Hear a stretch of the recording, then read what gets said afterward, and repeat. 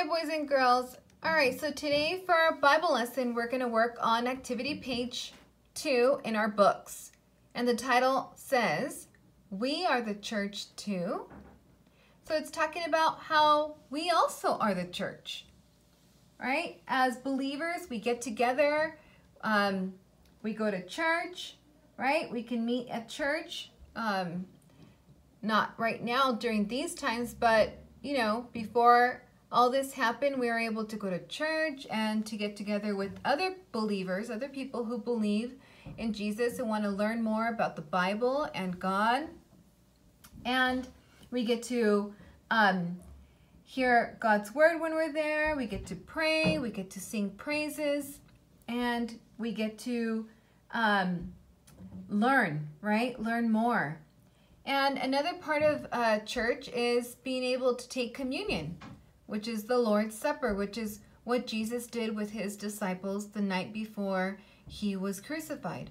Um, he broke bread with them to remind them that that represented his body and drank wine as a representation of his blood.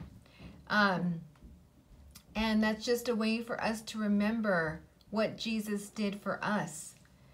And this week we're learning about the story of Pentecost, which is the story of how many people came um, and gathered.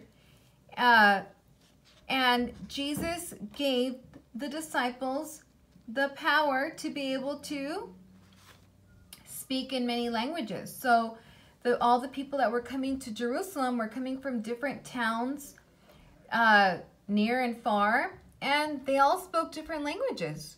So God gave the uh, Jesus the power to give the, the, the disciples the power of the Holy Spirit so that they can share the good news of Jesus with all those who came. And he gave them this gift of the Holy Spirit in the form of a flame. Um, and that was a way that God allowed them to be able to share the good news of Jesus so that they can repent. That means turn away from their sins, okay, to be sorry for what for what they had done and to not keep living that way, but to change the way that God wants them to be, the way that Jesus wants them to be. And so um, we also remember that we are God's church also. So just like the disciples were able to do all these things, we're able to share the good news, we are called to share the good news of Jesus with others as well. So in this picture here, we see a church and we don't see anybody there. So we're going to add some people to this picture so that um, it looks like a church that has people in it that are part of God's family. And in your sticker pages in the middle, we see some pictures here of people. So you're to take these pictures and you're to place them here in front of the church.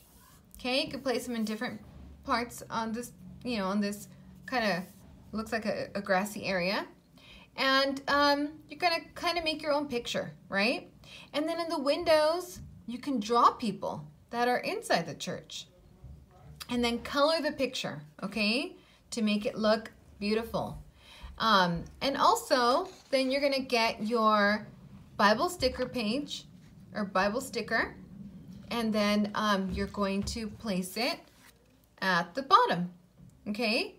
So um, this is just the page for us to remember that we are also God's church, just like the disciples were, and that we also are called to go and tell others the good news, just like the disciples.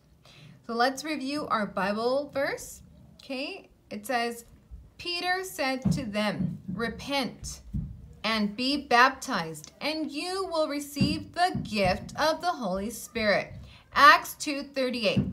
So when you're done with this page, take a picture and send it to me. Good job, guys.